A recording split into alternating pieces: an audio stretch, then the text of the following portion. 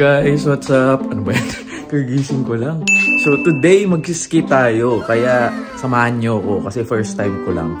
So 3 hour drive yun papuntang Wisconsin from here dito sa Illinois. So ayun, ang tawag ay Devil's Resort ba? Devil's Head yata. Basta yun, papakita ko sa inyo mamaya. Pero magtitimpla muna ako ng kape ko guys. At magto-toast ako ng bread. Pero mag-drive-thru rin kami. At mamaya papakita ko pala sa inyo sa vlog kung ano yung mga dadalin namin at yung mga dala ko. Kasi ni-research ko na yun para kapag mag-ski kayo, alam nyo na rin yung mga kailangan dalhin. Ito ko sa inyo mamaya. Magtitimpla lang ako na aking coffee. By the way, para sa mga bago pala dito, ako po si Vince, Filipino Living the American Dream at gumagawa ko ng mga buhay Amer America vlogs. Kaya kung hindi ka pa nakasubscribe, please click the subscribe button at yung notification bell para updated ka kapag nag-upload ako every Saturdays, 12 to 1pm Manila time. So yun. Hello guys! Ayan, palis na kami. So, 2 hours 58 minutes to drive. So, hindi ako mag-drive. Pauwi ako mag-drive. Let's go!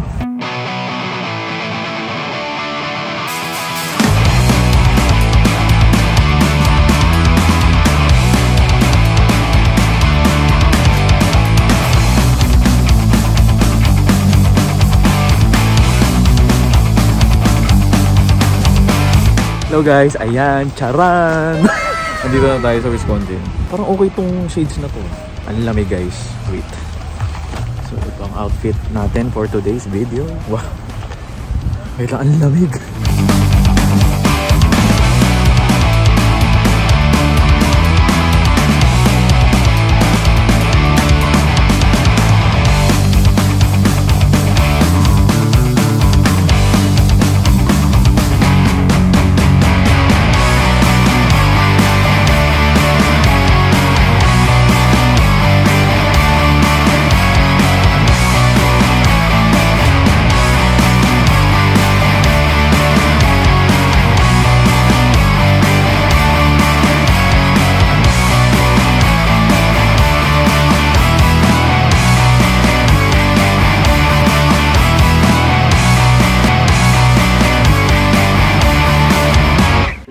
Up? Welcome back to my channel. Kung bago ka lang napadpad dito, ako po si Vince, Filipino Living the American Dream at gumagawa ako ng mga buhay America vlogs.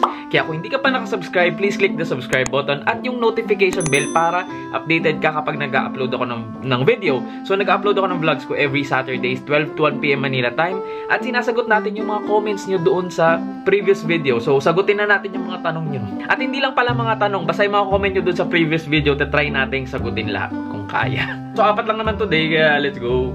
One Head 4197. Sabay pala kayo dyan nagpunta sa US ni James Barrett. Sabay ba? Parang mas nauna siya sa akin dito. So 2019 ako. So siya, I think mas nauna siya sa akin dito. Brents Jello Valladolid 4099. Happy New Year, Vince. Happy New Year, Brents and Jello Valladolid and family. So Happy New Year sa inyo. Miss namin mga videos mo. Ang tagal mo hindi nakakapag-upload. Sorry naman. May regards to your family here in the Philippines. Uy, shoutout sa pamilya ko dyan. Regards daw, sabi ni Brents Angelo Valladolid. Dax. So, yan. Jandel Di Mayuga, 3330. Wait lang, guys. Ano, ang weird, no, nung bagong update ng YouTube. Kasi, pinapakita yung buong username. So, pati yung number kailangan ko banggitin. Anyway, so yun. Happy New Year again, Kuya Vince. Have a blessed and successful year to start this month and so on for your family. So, thank you so much, Jandel Di Mayuga, sa suporta palagi. Other than yun nga, Friends Angelo Valladolid 4099. Palagi ko kayo natatandaan. And din, again, salamat talaga sa suporta. Happy New Year din sa inyo. And din sa family ko.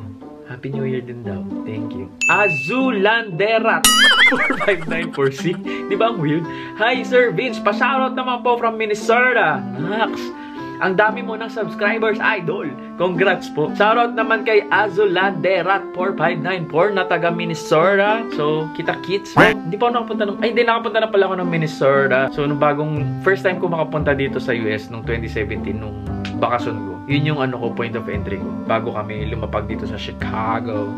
So, nag-Minnesota muna kami. Anyway, share lang.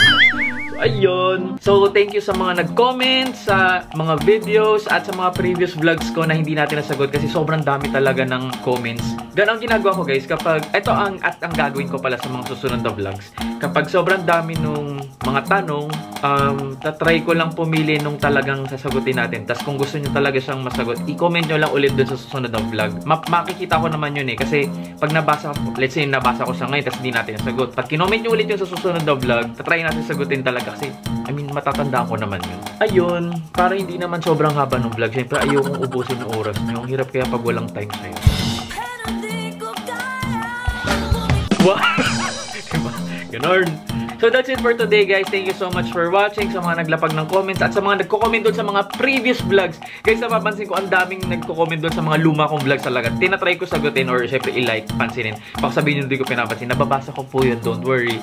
So, as much as I can, tinatry ko sagutin. Pero kung gusto nyo talaga sagutin, tapos may mga tanong kayo about Buhay America, isi-share ko talaga lahat. Pero i-comment nyo doon sa latest vlog kung gusto nyong i-vlog natin. Pero pag ayaw nyo namang sagutin ko sa on-air, ano, i, yun nga, doon ko lang siya sasagutin kung nandun yan sa previous vlog.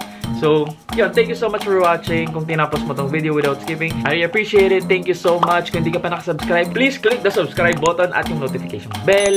And guys, if you want to connect with me, please follow me on my social media accounts at magkita-kita tayo sa next video. By the way, ito, grabe guys, ang saya mag-ski. First time ko. Yan ba ko ba sinabi? First time ko. First time ko naman talaga. Pero, ang hirap niya matutunan. Pero, after a few tries, sumunod kami nakaya ko naman.